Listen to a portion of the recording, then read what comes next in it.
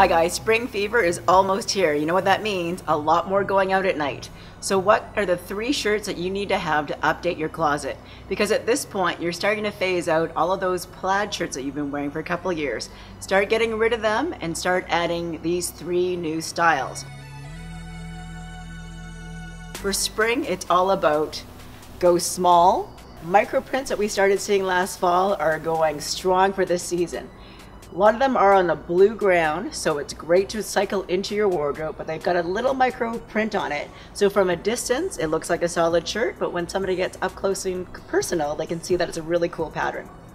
Number two is go big.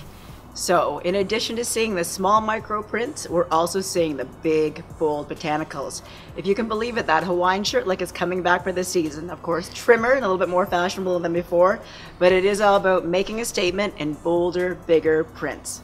And the third shirt look that you need to have in your closet to freshen up your spring wardrobe is solids. We're seeing a return back to solids. I love this one by Christopher Bates. It's got the military influence on it, but in a solid shirt or a lot of different colors coming up in solid fabrications.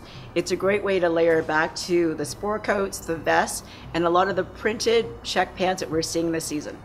Once we see a change in season, it's a great time to start putting your fall and winter clothes away. Why? Because your fall and winter shirts are usually a heavier fabric, maybe a flannel, a brushed cotton. They're a little bit too heavy when you're going out at night.